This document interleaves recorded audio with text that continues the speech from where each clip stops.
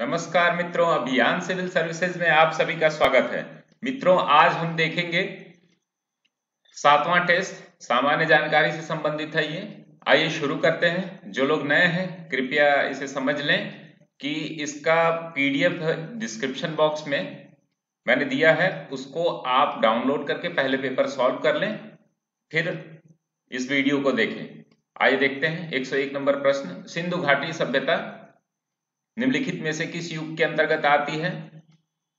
तो ये आती है आद्य ऐतिहासिक काल, सबको पता ही है, जहाँ पे लिपियों का उपयोग नहीं पढ़ा जा सका है, उसको आद्य ऐतिहासिक बोलते हैं। किस शासक वंश ने मंदिरों एवं ब्राह्मणों को सबसे अधिक ग्राम अनुदान दिया था? तो ये गुप्त शासकों ने दिया था, उत्तर हो जाएगा इसका। ए, गुप्त शासक जो थे, हिंदू धर्म से संबंधित थे। अगला प्रश्न देखेंगे, डीएनए अंगुली छाप फिंगर प्रिंटिंग तकनीक का उपयोग किसके संकुचन के लिए किया जाता है? तो ये विवादित जनकता मतलब कि पितृत्व की जानकारी के लिए किया जाता है। अगला प्रश्न देखेंगे, कौन सा देश सार्क का सदस्य नहीं है? तो इसमें सार्क के कुल कितने सदस्य हैं? आप हमें कमेंट बॉक्स में बताएँगे। भूटान, म्यांमार सॉरी मालदीव और अफ़गानिस्तान। है, म्यांमार नहीं है, क्योंकि ये उत्तर हो जाएगा इसका। डी अगला प्रश्न देखेंगे। किस काल में अछूत की अवधारणा स्पष्ट रूप से उद्धत हुई? अछूत की अवधारणा किस काल में उद्धत हुई? तो ये धर्मशास्त्रों के समय में माना जाता है। उत्तर हो जाएगा इसका। डी अगला प्रश्न देखेंगे। अठारह ईस्वी का विद्रोह मुख्यतः किस कारण से असफल रहा? हिंदू मुस्लिम एकता की कमी, किसी सामान्य योजना या केंद्रीय संगठन की कमी, इसके प्रभाव का सीमित क्षेत्र, जमींदारों की असहभागिता तो इसमें जो सबसे उपयुक्त कारण है, योजना की कमी जो थी, वो सबसे महत्वपूर्ण कारक है। उत्तर हो जाएगा इसका बी, होम रूल आंदोलन भारत के स्वतंत्रता संग्राम के एक नए चरण के आरंभ का द्योतक था। क्योंकि होम रूल आंदोलन के बारे में हम देखेंगे इसने देश के सामने स्वशासन को एक ठोस योजना रखी, स्वशासन की एक ठोस योजना रखी। तो उत्तर यही सही है, उत्तर हो जाएगा ए। अगला प्रश्न देखेंगे, भारत की सर्वाधिक वर्षा मुख्यतः प्राप्त होती है तो ये दक्षिणी पश्चिमी मानसून से। उत्तर हो जाएगा इसका सी। हिंद महासागर और लाल सागर को कौन सी जल संधि जोड़ती है? हिंद महासागर और लाल सागर को तो इन सारी जल संधियों के बारे में आप लोग पढ़ लीजिएगा।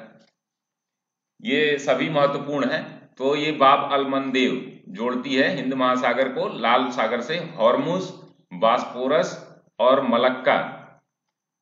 मलक्का किससे किससे जोड़ती है और ये कहाँ स्थित है आप हमें कमेंट बॉक्स में बताएँगे। महाद्वीप अलग कैसे हुए? मित्रों, इसमें हम थोड़ा इंटरेक्टिव चाहते हैं, आप लोग कमेंट नहीं करते हैं। अगर आप इंटरेक्टिव सेशन नहीं रखेंगे तो थोड़ा अच्छा भी नहीं लगेगा और जो लोग भी वीडियो देख रहे हैं, कृपया लाइक शेयर ज़रूर कर दिया करें। इससे हमें और वीडियो बनाने की प्रेरणा मिलती है। महाद्वीप अलग कैसे हुए? तो विवर्तनी क्रिया के द्वारा अलग हुए। 110 का उत्तर हो जाएगा बी प्लेट टेक्टोनिक के द्वारा। अमेरिकी राष्ट्रपति के निर्वाचन हेतु गठित निर्वाचक मंडल के सदस्य होते हैं। तो अमेरिकी कांग्रेस के सदस्य, प्रतिनिधि सभा के सदस्य, सीनेट के सदस्य, इनमें से कोई नहीं होता है। अमेरिकी राष्ट्रपति सीधे जनता द्वारा नहीं चुना जाता है। इसके लिए निर्वाचक मतों का प्रयोग होता है। तो इनमें से कोई नहीं होगा, उत्तर हो जाएगा इसका डी इसमें आप देखेंगे निर्वाचक मंडल में जो निर्वाचक मत होते हैं, उसमें राज्य के सीनेटर होते हैं। भारत में निम्नलिखित में से किस राज्य में नगरीय घनत्व सर्वाधिक है? तो नगरीय घनत्व ज़रूर पढ़ लीजिएगा। हम एक वीडियो बनाएँगे जनसंख्या से संबंधित, जिसमें से आपके एक या दो प्रश्न 100 परसेंट आपको दो या तीन प्रश्न मिल जाएँगे परीक्षा में। 50 प्रश्नों का एक संग्रह है हमारे पास, जिसमें से लगभग सारे प्रश्न आ जाते हैं। तो इसका उत्तर हो जाएगा पश्चिम बंगाल, नगरीय जनसंख्या में, नगरीय घनत्व में सॉरी सर्वाधिक ज़्यादा कौन सा है? पश्चिम बंगाल। अगला प्रश्न देखेंगे। वह कौन सी सभा है जिसका अध्यक्ष उस सदन का सदस्य नहीं होता है? तो ये सा, सामान्य सा प्रश्न है। सॉरी इससे पहले एक है। तकला मकान मरुस्थल किस देश में है? तो ये कई बार पूछा गया प्रश्न है। ये चीन में स्थित है। बार बार ये पूछा जाता है प्रश्न। अभी पीसीएस में भी पूछा गया है जल्दी वह कौन सी सभा है जिसका अध्यक्ष उस सदन का सदस्य नहीं होता है? ये भी कॉमन सा प्रश्न है। तो राज्यसभा का स्वचालित इंजनों में कौन सा हिम निरोधी के रूप में प्रयोग होता है? यह भी काफ़ी बार पूछा गया प्रश्न है। हिम हिमरोधी के रूप में कौन सा यूज़ किया जाता है तो ये इथिलीन ग्लाइकॉल है। उत्तर हो जाएगा सी। भारतीय संविधान के अनुच्छेद 370 का संबंध किससे है? तो जम्मू कश्मीर राज्य से उत्तर हो जाएगा ए। किस संशोधन ने समाजवाद धर्मनिरपेक्षा और राष्ट्रीय एकता एवं अखंडता शब्द भारतीय संविधान में जोड़े गए थे। तो ये आपको पता होना चाहिए, ये मिनी कॉन्स्टिट्यूशन बोला जाता है। बयालीसवां संविधान संशोधन, ये कब हुआ था? उन्नीस सौ छिहत्तर में। राष्ट्रपति पाँच वर्ष तक अपने पद पर रहता है। हाँ ये भी महत्वपूर्ण है, इसमें कंफ्यूजन होता है बार बार तो अपने पद ग्रहण की तिथि से, निर्वाचन की तारीख से नहीं, अपने पद ग्रहण की तिथि से। निम्न में से एक भारतीय मौद्रिक नीति के बारे में निर्णय लेता है तो ये रिज़र्व बैंक लेता है मॉनेटरी पॉलिसी कौन तय करता है? आरबीआई उत्तर हो जाएगा इसका बी अगला प्रश्न देखेंगे 120 जवाहर रोज़गार योजना का मुख्य बल निम्नांकित पर है। तो जवाहर रोज या रोज़गार योजना को हमें समझना होगा कि ये किससे संबंधित है और ये कब लाई गई। तो ये मुख्यतः ग्रामीण क्षेत्रों में मजदूरी परक रोज़गार के अतिरिक्त अवसरों का सृजन करने के लिए लाई गई थी उन्नीस सौ नवासी में। इसके समय कौन आपके प्रधानमंत्री थे, आप ज़रूर हमें कमेंट बॉक्स में बताएँगे। मनुष्यों के लिए शोर की सह सीमा करीब करीब होती है। तो यहाँ से ध्वनि से भी संबंधित ध्वनि प्रदूषण आजकल बहुत ज़्यादा बढ़ रहा है। तो यहाँ से भी प्रश्न लगभग हर परीक्षा में बन रहे हैं। तो ये भी आप डेसिबल याद कर लीजिए कि बातचीत का कितना होता है। तो सहनीय सीमा जो होती है, वो पचासी डेसिबल माना गया डब्ल्यू के द्वारा। आप इसको याद कर लीजिए, जो बातचीत की ध्वनि होती है, तीस से चालीस होती है, ज़ोर से बात करने, पचास से साठ विद्युत मोटर की जो आवाज़ होती है, वो 110 होती है, सायरन 110 से 120 जेट विमान जो है 140 से 150-55 तक आवाज़ करते हैं। पसीने का मुख्य उपयोग है तो शरीर के ताप को नियंत्रित करता है ये। 122 का हो जाएगा ए। अगला प्रश्न देखेंगे, रेशम कीट जिन पर पनपता है। रेशम कीट जो होते हैं, जो सातूत की पत्तियों पर पनपता है, उत्तर हो जाएगा इसका डी। मलबरी लीव्स बोलते हैं इसको सहतूत की पत्तियाँ। अगला प्रश्न देखेंगे, विश्व स्तर पर प्रत्येक वर्ष की मानव विकास रिपोर्ट किसके द्वारा प्रकाशित की जाती है? तो ह्यूमन डेवलपमेंट रिपोर्ट किसके द्वारा प्रकाशित की जाती है? तो ये यूएनडीपी द्वारा की जाती है, United Nation programme, development programme द्वारा। एक घंटे में एक क्यूसेक पानी बहने की मात्रा लीटर में है तो क्यूसेक को लीटर में आप फिर घंटे से गुड़ा कर देंगे। उत्तर हो जाएगा इसका बी गुड़ा करके आप निकाल लीजिएगा। घन करके निकाला जाता है। निम्नलिखित युग्मों में से कौन एक लोहा का प्रचुर स्रोत है? मतलब आयरन का प्रचुर स्रोत कौन सा है? तो उत्तर हो जाएगा इसका जैसे जो भी पत्तेदार सब्ज़ियाँ होती हैं, उसमें ये पाया जाता है चीकू पेठा, इसमें तो नहीं होगा बहुत। चौराई जो होता है, चौलाई और केला, इसमें लोहे का प्रचुर स्रोत होता है। भारत की मुख्य अनाज की फ़सल है तो भारत का मुख्य अनाज की फ़सल चावल है। गेहूँ चूँकि हर जगह नहीं होता है, जैसे बंगाल में और भी बहुत सारे एरिया हैं जहाँ गेहूँ नहीं होता है। तो मुख्य फ़सल चावल ही है। केरल में देखेंगे आप, ज़्यादातर लोग खाते हैं और पूर्व में लोग खाते ही हैं। हम लोग भी चावल ज़्यादा यूज़ करते हैं। निम्नलिखित में से कौन सा हार्मोन है? तो इसमें हार्मोन बताना है। तो आरएनए ये नहीं है, इनवर्टेज ये भी नहीं है, इंसुलिन है। इंसुलिन एक हार्मोन है, उत्तर हो जाएगा इसका सी। निम्नलिखित में से कौन एक सही सुमेलित नहीं है? तो आल्हा, बिरहा, कजरी और चैता के बारे में आल्हा संबंधित है, बुंदेलखंड से। पूछ रहा है कौन? संबंधित नहीं है। तो कजरी जो है, वो रुहेलखंड से संबंधित नहीं है। कजरी कहाँ से है? ये पूर्वांचल आप देखेंगे। वहाँ से खास करके मिर्जापुर में ये गाया जाता है।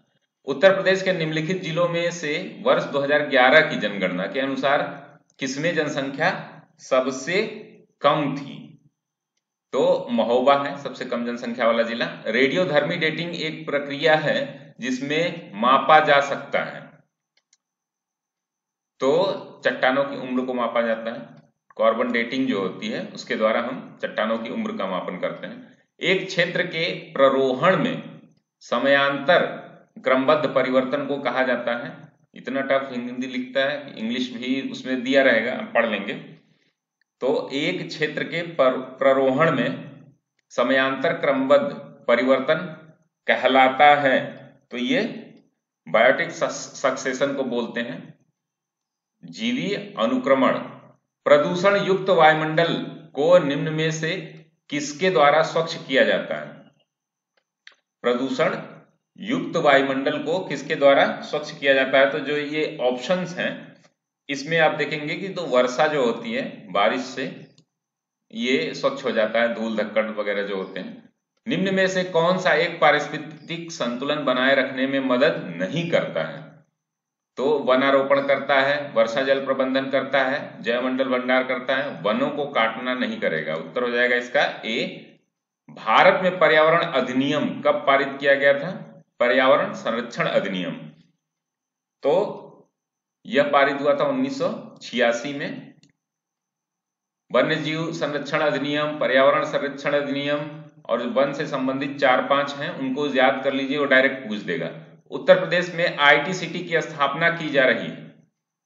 ये काफ़ी पुराना प्रश्न है तो लखनऊ में की जा रही है आईटी सिटी की स्थापना, उत्तर हो जाएगा इसका सी। एक राज्य को संघ में सम्मिलित करने अथवा नए राज्यों की स्थापना की कार्यपालिका शक्ति निम्नलिखित में से किसे प्राप्त है? तो ये मुख्य रूप से संसद को ये अधिकार होता है। उत्तर हो जाएगा ए एक गैर सदस्य के रूप में संसद के किसी एक सदन की कार्रवाई में भाग ले सकता है। तो भारत का महान्यायवादी उत्तर हो जाएगा इसका सी। जी सेवन शिखर सम, में सम्मिलित हैं। रूस को हटा दीजिए जिसमें आप दिखेगा। तो वो जी सेवन का सदस्य हो जाएगा आपका।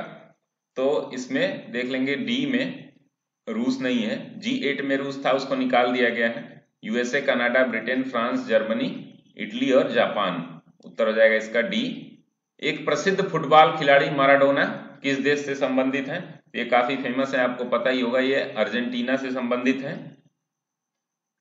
माराडोना।